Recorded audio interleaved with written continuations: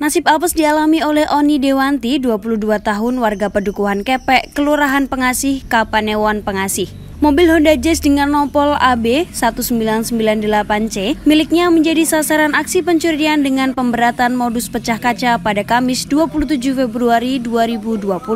Aksi ini pertama kali diketahui oleh Oni pada Kamis pagi ketika hendak mengambil barang di mobilnya. Ia mendapati kaca depan sisi kiri mobil sudah pecah dan tas di dalam mobilnya raib. Padahal di dalam tas Oni disimpan uang tunai senilai 12 juta rupiah, perhiasan emas seberat 10 gram dengan total 3,5 juta rupiah, serta sejumlah perlengkapan make up senilai jutaan rupiah. pakai busi. Pakai kembang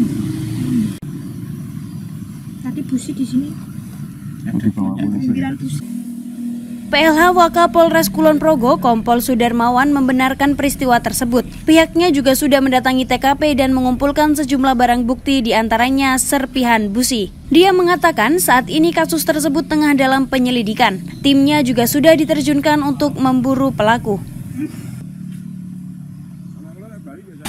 Sekira pukul 1 sewaktu korban atas nama Oni Dewanti ini sewaktu mau tidur mendengar suara brak seperti kaca yang dipecah. Setelah itu terdengar sepeda motor di starter dan diperkirakan lari ke arah barat. Bambang Jati, Sorot Media.